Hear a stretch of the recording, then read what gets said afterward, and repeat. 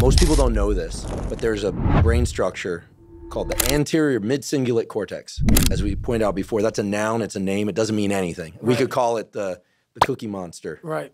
But what's interesting about this brain area is there are now a lot of data Mm-hmm. in humans, not some mouse study, showing that when people do something they don't want to do, Mm-hmm. like add three hours of exercise per day or per week, or when people who are trying to diet and lose weight resist eating something, Right. when people do anything that they, and this is the important part, that they don't want to do. Right. It's not about adding more work, it's about adding more work that you don't want to do. Yes. This brain area gets bigger. Yep.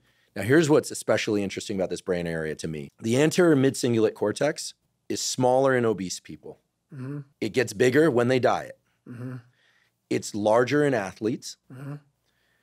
It's especially large or grows larger in people that see themselves as challenged and overcome some challenge. Right.